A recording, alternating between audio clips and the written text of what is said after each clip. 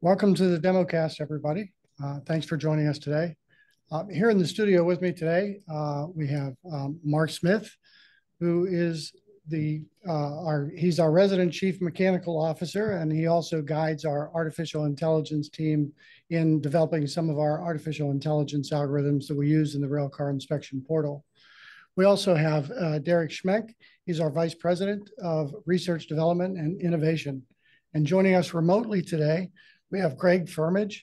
Uh, Greg is the principal architect and operations director of Kalray. So thank you very much for joining us today, Greg. I really appreciate it. My pleasure. Thank you for the invite. Mark, to start us off, uh, we're talking about the railcar inspection portal. Can you give us a, a basically a high-level overview of, you know, what the railcar inspection portal is, what it does, and how it services our railroad clients?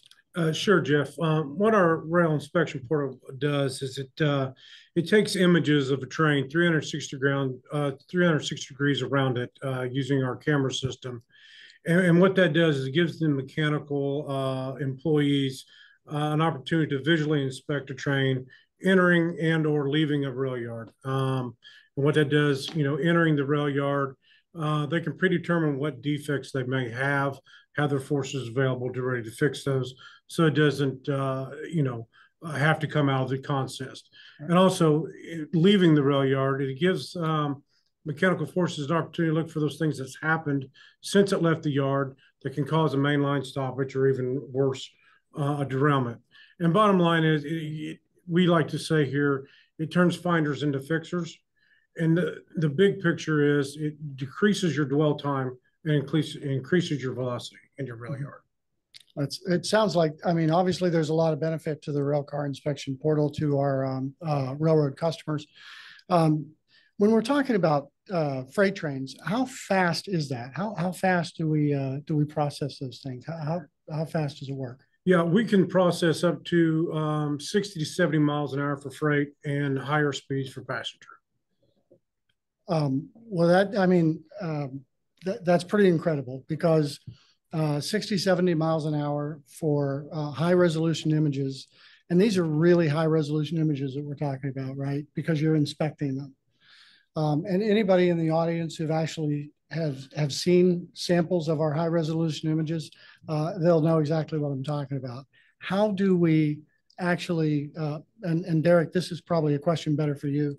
How do how are we able to capture that amount of data that fast? So we use a number of technologies from specialized lighting to industrial machine vision cameras. Uh, we combine that with a specialized IT infrastructure in order to capture those images, processes those images, as well as pipeline them through our AI algorithms to identify mechanical flaws and safety issues. Um, so, uh, we that, generate about five gigabytes per car as a okay. you know if that if kind of a number for what yeah. we're looking at. And that's per rail car. So per average car. an average train, 100 and some cars long. That's a lot of data in a very short yeah, amount exactly. of time. Um, and and that's for freight cars, right? So I know about you know about two years ago, uh, we we uh, started developing our system for high speed passenger rail. Uh, what are uh, what are the speeds there? Can you tell me how that differs? What were some of the challenges there? So on that particular project, our uh, target speed was 125 miles per hour. Um, what that means is we are doubling the throughput of images that are coming into the infrastructure. Um, the typical storage environment that we were using, that we are using in our freight and uh, rail inspection portal, doesn't handle that that velocity. So we had to come up with a specialized storage system in order to capture those images. In this scenario, we were um, generating over 60 gigabytes per second of mm-hmm. uh, image data, and then we uh, needed the ability to not at the same time be able to process those images mm-hmm. and run them through our artificial intelligence to keep from having delays in uh, in the uh, notifications, etc. Processing. Right. And so we reached out to uh, our partners and came to Kalray, where we uh, were able to to uh, utilize their storage system in order to uh, achieve those speeds and the uh, necessary features and functionality. Good. Um, Well, Greg, I, I, I guess this one, uh, you know, we'll go to you now, right? Uh, I think most of the folks in our audience probably familiar with Duos Tech. Um, many of them may not have heard of, of Kalray. Can you maybe introduce us to yourself and the company? Of course, and thank you very much. so yeah, so my name is uh, Greg Firmage. Uh, as Jeff mentioned, I'm Principal Architect and Operations Director at Kalray. Um, my role is to uh, architect next generation storage platforms to support uh, in, institutions and organizations like Duos to to uh, innovate, uh, to um, you know become come up with new ideas and faster ways of doing things and solving problems. Um, so a little bit about Kalray. Um, so Kalray is a is a French semiconductor company, um, and within the portfolio they have uh, two two product sets, I suppose. So so one is a processing unit known as a DPU. Um, so you know you may have been hearing terms of CPUs and GPUs. Um, architects and uh, makes DPUs, data processing units. And the second part of the business, which is where I, I sort of more aligned, is around a software-defined storage platform. Um, and fundamentally, what what we're looking to do is um, offer our customers the opportunity to architect storage solutions based on their workflows. And so, uh, in for, for Duos, you know, as, as Derek talked about, some of the some of the numbers that they needed to achieve the project were very high, huge amounts of bandwidth to ingest all of those images and then process them. And what we, we effectively do is um, we have a parallel file system at the core of our platform. Um, and for if you're not familiar with what that means, in very simple terms, if you had 10 individual hard drives, um, you would only have 10 one hard drive pipes. Whereas what we do is effectively make one 10 drive pipe. And that, that, you know, that could be 20, 50, 100. So it can scale to meet the actual business requirements that, um, that our customers need. And so the challenge that uh, Derek gave us was, you know, very high ingest speeds, but, uh, you know, we were able to put a solution together uh, with Dell and uh, some other partners to, to meet these, this, this high speed rail challenge. Yeah, that's excellent and incredible work, by the way. I know that our team has worked, I think, with your team probably over the last a uh, little over a year now, I think. Uh, and yep. obviously, we value each one of our collaborative relationships with our technical vendors. Uh, they're very important to what it is that we do here at Duos Tech, and uh, it kind of helps us move forward. Um, and and you know look there's lots of choices when it comes to technology. There's new companies springing up to do all kinds of things all the time. That is technology. So so greg can you um, let us know a little bit about uh, kind of what sets Kalray apart? So there's there's a, there's a few terms and things that uh, that that set us apart from standard storage people um, or products. Uh, so one is you know we we don't do hardware ourselves. We work with partners to do that, and so typically our main our main partner is Dell. Um, and the way I look at just our relationship with Dell for our solutions is Dell is like a big box of Lego. Uh, so uh, someone might come to us with a a, a storage challenge um, that may have different requirements for different workflows, and effectively we're able to go put our hands into the, the Dell Lego box and take the right parts of hardware to, to architect the solution. And what fundamentally what that means is that we're, you know, we we can architect a hardware solution for storage that meets the workflow requirement rather than the workflow requirement having to uh, compromise because of storage hardware technology and, and we're able to do mixed workloads with that. So you know, you basically you'll you know be able to process the data in the way it's needed, which as we'll come to sort of cover a little bit later on, is pretty important into the life cycle of any sort of data set. The second part of what we do is around data management, where we're here to give our customers insight into the data itself. You know that that's where the real value is. Just storing it and processing it is one thing, but understanding where it is, being able to find it, that's another part of it as well you know the hybrid environments uh, you know we, we're able to do hybrid storage solutions that mean in a data center maybe in a container but also potentially in the cloud. And again to optimize those workloads for what a customer might need. And and fundamentally you know one thing we try and do is um, maximize the hardware investment we will extract every piece of performance that we can from those those hardware building blocks to, to, to again maximize the return of investment for, from, from our customer. And the last part of it again is we're predictably scalable. Um, and you know, Derek can, can sort of uh, back this up a little bit. You know, if we have a building block that is one X for performance and one Y for capacity, if we add a second one, it scales linearly. So it's entirely predictable. And you know, there aren't really any limits in terms of where that scalability ends. And so putting all those things together, um, gives our customers a best of breed environment. We give them true insight into the data, but also the flexibility to to scale and and adapt to the changing workload needs that they have. Yeah, uh, that's uh, and and you mentioned I I know uh, uh, you, you, mentioned how your team was working with the Duos team to kind of solve some of those challenges. Is there any any other challenges when we were approaching high speed rail? Is there any more detail about the uh, how we solved some of those challenges from Kalray's side? I, I, I, think the big, the biggest challenge was around the ingest and understanding. You know, all of the cameras have slightly different ways of uh, generating images and file size and you know different things. And to be able to cope with that sort of very heterogeneous type of data ingest meant that we we we, we had to do some testing.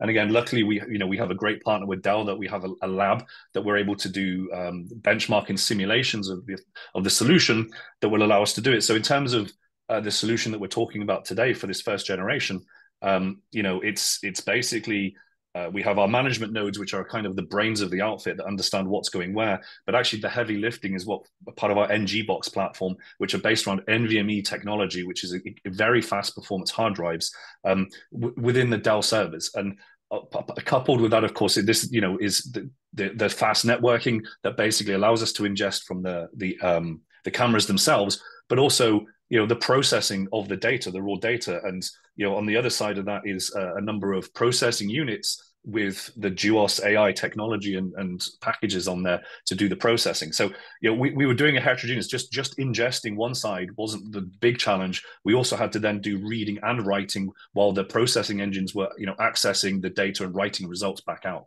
So it, it took a little bit of time because the numbers were quite high um, you know, I was quite confident on paper, and you know, Derek did a lot of work on the paper side of things. But you know, paper is one thing. Actually, doing it in in in anger, I suppose, is a different thing. And and again, we were able to sort of simulate a lot of this uh, prior, prior to actually putting you know putting the thing together properly. Yeah, I mean that that that's excellent, Derek. I know your team has worked very well along with Kalray, and and obviously we have uh, a tremendous success in being able to do this. But I want the audience to realize as well um, what's this overall need for speed? What is that? And in our solution, uh, the Railcar Inspection Portal, uh, obviously what we promise to deliver is actionable intelligence. Um, the issue is uh, intelligence is, is only actionable if it's delivered in a timely manner. And that's why all of this technology comes into play. That's why we're talking about so much detail. Um, so Mark, maybe you can help us bring it back to reality for us, bring it back to high level a little bit um, kind of out of the detail. Uh, let's talk about um, how is this, how, how's AI, for example, how's our artificial intelligence and our machine uh, learning algorithms, how, how, do our customers benefit from that? I mean, from a high level, from a business standpoint. Yeah, um, sure. Like I said, eh, on the on the back end, um, I, I take with Kalray and Derek's team, and they provide me the images. Um, and then we go in my team, we go through and we pick out those targeted areas that need, you know, uh, need to be looked at. Mm-hmm. Um, and then, you know, we take those images, we label them. Uh, our engineers, they build the model, they train the model. Um, and, and, what that gives is it gives the mechanical forces uh, a more robust, targeted inspection. Mm-hmm. Um, so, and with the speed that we process all this at, it, it gives you near real time usable data um, that the railroads can can benefit yeah. from. Yeah. And, and uh, that's a perfect use case for artificial intelligence and machine learning. And, um, you know, we're, I, I go to a lot of talks. Um, I attend a lot of panels and uh, we're always talking about valuable use cases for artificial intelligence and all the derivations therefrom. And, and we, uh, this always comes up as being a real practical and real life use case. Um, Greg, in, in your when you're uh, talking to your customers and your prospects and in your industry in general, what are you hearing uh, uh, as far as AI is concerned? What are the new uh, uh, magic words in AI? so I think the two, yeah, AI and machine learning have been around for for a little while, but uh, the new sort of buzzword on the street is generative AI, which has a slightly different use case. But um, pretty much what we're seeing now is pretty much all organizations uh, are doing some kind of AI. It doesn't matter which market vertical they're in. There's, they're doing some kind of thing to be, you know, to do predictions. Um, and and the challenge with it is, you know, with all of these people trying to go and get get involved with AI, is um, you know it's a little bit like uh, the American frontier, I think, where um, you know there's gold in them there hills, but you know how to get to it and avoid the bears and the pitfalls, etc., is a challenge. And you know the, the, fact is people only know what they think they know at, at, the start. And and what happens is they tend to um, realize once they start down the path that all of a sudden there are three or four different directions that you can head from it. And some of the things that we're trying to do you know when it comes to this because you know the, typically with these type of workloads you know there's the processing unit there's there's a network to be able to talk to those processing units and let them talk together. There's the storage which is sort of what we how we contribute and then you know you need some kind of resource management. And but the thing is with it once you start going down the path it's you, you, you some people tend to find they need to adapt and change. And so from a storage point of view as i go back to my lego analogy um, you know we're, we're very tactically scalable. Um, so if uh, a, potential customer sort of started down a route and realized actually now they're doing it in, in the real world uh, they need to change direction or pivot then we can add what we need to to give them that capability. Because the simple fact is, and as the next slide will show, these sort of AI workloads, they're complicated. You know, every single one of the sort of the ingest preparation, this is all part of the, the, the, life cycle of any AI processing. And each of them has different challenges that you need to address. But typically people don't quite understand which parts they need to focus on as part of their workflows and you know this you know this talk about constrained capacity for checkpointing or uh, highly varied IO profile. And so, like I said, what we've tried to do is give our customers the flexibility to adapt as as they need, feel find that they need to adapt. We can work with them from the storage point of view. And with generative AI, that takes it a, a step further because basically, once you've finished one set of data set, you start again reprocessing on that data set. And the challenge for that is, of course, that data set keeps constantly growing and growing. And so being able to scale both not from just a, a, performance point of view, because obviously as the data set gets, set gets larger, you need more more things to process, but actually to store the data as well. And those those are the challenges that we, are sort of seeing in the marketplace that we're we're trying to address with our building block approach for the solution. Yeah, absolutely. It's a lot of the same things that uh, that that I'm hearing as well in, in the circles that I travel in. Um, you mentioned two things, you know, two types of well, not it's two uses of AI really. Uh, one is predictive analytics, which uh, I've, I've promised, uh, you know, future uh, uh, blogs and, and maybe even a demo cast because it, it's kind of related to our subscription offering that we want to talk about in, a, in another session. Um, but more relevant um, is the generative AI that we've been hearing a lot about lately. And so maybe we go to Mark. Mark, are we um, I know we've, we've started using generative AI several months ago. Can you tell us exactly how we're making use of that and what we're doing in our business with generative AI? Um, right. And kind of going back to what Paul said, I mean, we, we have in-house now our own retraining pipeline. so our data set continually grows. And also, uh, you know, and most of the audience are railroaders or have been around it, uh, you know, a rail, a rail car, uh, there's certain parts that just don't break that often. Mm-hmm. Um, but they're targeted inspection areas and so we need lots of images to train the AI. So we we use that kind of a little differently. We we take that and make what doesn't break that often. We generate to where we have a sample images of what it could potentially look like, you know, right. with the anomalies in it. So that's that's kind of what we're doing with it right now. So in short, we're just we're we're using uh, generative AI um, to make our algorithms better. Correct. To, to more thoroughly train them and make them better over time. Um, that's, that's, like I said, that's excellent. That's exactly what we want to do at, at Duos Tech. Um, you know, hopefully we provided uh, uh, some insight uh, into some of the things we do under the hood to to kind of make all of this technology work to the benefit of our railcar inspection uh, or our railcar our rail customers.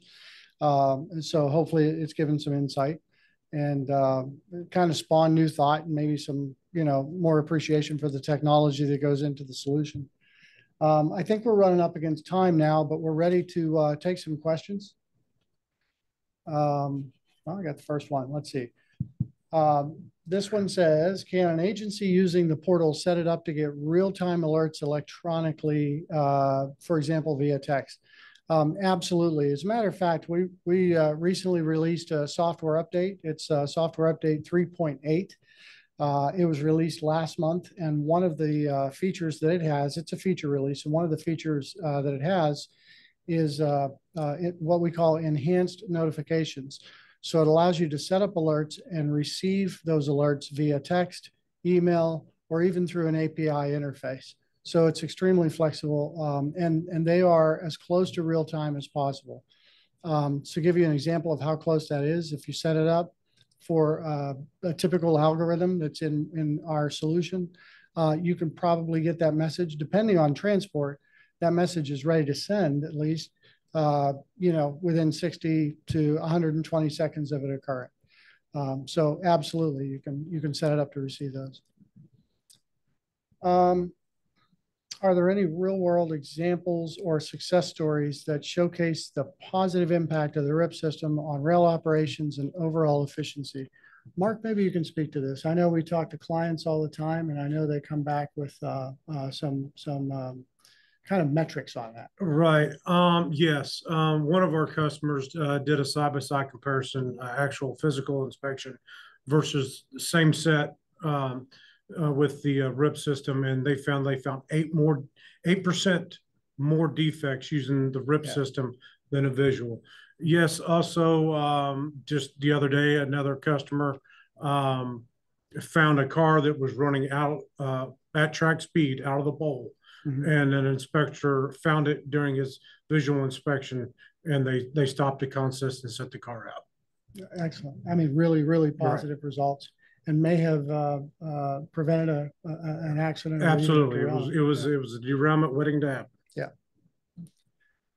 Um, how does Duos Technologies Railcar Inspection Portal address the challenges of current railcar inspections? I, I, you know, I think, and I'll let Mark speak to this again, but I, I think we covered that a little bit. But um, it, in my opinion, the railcar inspector assists the mechanical rail car inspector. Maybe you can uh, enlighten us on that. Uh, correct. Um, it, it kind of goes back to what I said. It's it's it will enhance or robust your your inspection in your fleet mechanically speaking. Mm-hmm. Um, you're still going to have to have the human. Sure. Um, a validate what what we find, and and two, you're still going to have to have that human to go fix it. What it does is when I say finders to fixers, you can redirect your workforces instead of sending everyone out to inspect and then not have time to fix. Right. Now you can have one guy or two guys inspecting and two to three guys repairing. So it doesn't have to come out the consist. And right. it just depends if you're in a hump yard or if you're in a flat switch yard. Right. Right. I, uh, and I love the finders to fixers. I, I think that's perfect. That's that's beautiful for an elevator pitch. Um, let's see. What does the software deliverables look like? PDF report, video, photo images, text. Um, okay, so I'm going to take a shot at answering this a little bit, and then I'll maybe pass it over to Derek. Uh, you're feeling a little left out, I see. Um, so we have a uh, visual interface. It's called Centraco. It's a graphical user interface. Um, so all of the detections and all of the uh, the live images in real time, you can see them there. You can do your inspections there. Uh, the software is, is very, uh, uh, it's user-friendly, it's intuitive, almost a zero learning curve. Um, the reports and the notifications we're talking about, we do have some PDF reports that are emailed. Um, and, and like I mentioned before, it's text. And uh, I, I don't want to discount the ability, and maybe Derek, you could speak to this, the integration ability of the system, I think is huge. Uh, you know, we are an easy integrator. We have a, a very detailed and sophisticated and comprehensive application programming interface, which really allows this system to be interoperable with, with almost any backend system that a rail customer may have. Derek, you want to expand on that a little bit or? No, you pretty much explained it. Oh, sorry about that. I was giving you. no, that's okay. um, do we have time for one more? I think, okay. Uh, oh, I will say this: the there is a uh, visual representation of Centraco on our website. I believe um, if you go to www.duostech.com, um, go under the yeah. rail inspection portal, you should be able to see visual representations of what our uh, our Centraco uh, user interface looks yeah. like. Yeah, that's good advice. Um,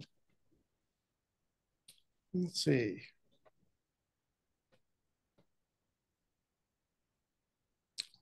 are the cameras, and I, I guess this is, uh, are the railcar inspection portals located at all interchange, uh, points? Yes. You want to speak to that? Um, no, uh, short answer to that, uh, no, not as of right now. Um, that has been one, um, thing I have, you know, mentioned several times in my couple years here, uh, coming from a rail yard. That was an interchange point. Um, I hopefully one day they are, uh, but as of right now, it's, it's kind of up to each individual customer where they would like to have those located. Good. And, and we're always looking, I mean, obviously, we're expanding. Um, day by day, we'll have more, uh, uh, more rail car inspection portals, uh, throughout, uh, on the rail network. Um, the next question, can you show examples of what defects are picked up by the cameras on a rail car? I don't, I don't think we're ready to show them on this session, but can you speak to some of the, what the rail car mechanic can see and maybe what, uh, a few of our algorithms are, maybe what a few of our models. Right. Uh, basically 360 degrees around. Um, uh, we have algorithms uh, that look at draft gear condition. Um, we have uh, cushion unit condition. We have uh, brake, body mounted brake pistons applied, uh, missing securement, uh, cotter keys on the on the underneath side, undercarriage of the car, uh, open doors, uh, open hoppers, uh, tops and bottoms. Um, we're really looking at our wheel to uh, rail interface right now. Um, we have um, missing and out of place truck springs, uh, wheel size mismatch. Um, you know, our catalog has has grown quite a bit in the last two years. Um, so yeah, I- but if uh, this is what I tell people, even though we don't have AI for it right now, you can still see it with the RIP system. Uh, like I, what we said before, at near real time. Yeah, don't forget, we have the trespasser rider detection system Mhm, too. that, correct, uh, sorry, correct. Captures people riding the trains illegally. Um, so for the visual representation that you would see in the user interface, the car ID itself, um, on the screen will be highlighted in red. Um, when you click on that red, um, indicator, it will show a boxed out detection of what was detected in that artificial intelligence model.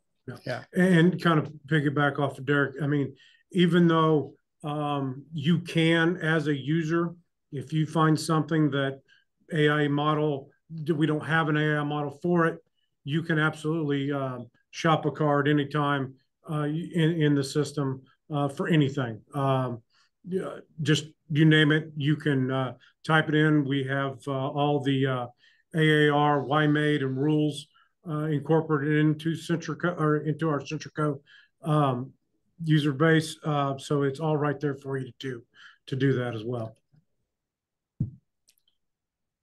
And, um, that's it. We have any other questions coming in or? So there's the one, how many cameras are used and Oh, yep. Do you want to speak? Go ahead and speak to that. Sorry. Yeah. How many cameras are used and how many, uh, uh, what angles are, are detected? Now, we, we pretty much kind of say the sky's the limit on this one. We take, uh, multiple angles, um, completely the underneath side of the car. Uh, we actually have a new system that allows us to take, capture the, all, uh, the surface area of the entire wheels that are going over the track Full rotation of full wheel. rotation of the the wheels so you can see the entire surface and the the entire flange condition of the wheels uh we also have um all, all the sides all Yeah. the springs uh we, we we take different approach angles as well to capture around corners that you can't see perpendicularly to the train um, and this is a full modular system so you can buy you can kind of shop and buy which per, parts of that system you want Yeah. Perfect. Uh, we're, we're at time? Okay, I gotta wrap it up. Um, so, uh, well, you know, first, um, I'd like to, um, like to thank our guests, uh, uh, Greg, I'd, I'd like, certainly like to thank you first and foremost for joining us. Uh, I, I do appreciate it, Greg from Kalray. And, um, uh, Derek and Mark, I appreciate it. If anyone uh, in the audience has additional questions we didn't get to today, or you think of some uh, and you want to send them to us, you can certainly submit questions to sales@duostech.com will be, it'll get to the right place and we'll get you an answer. Um, and I invite you to, uh, visit our website at, uh, uh, www.duostech.com and also pay, uh, excuse me, pay a visit to our partner Kalray at kalrayinc.com. I appreciate it. Thank you very much, everyone.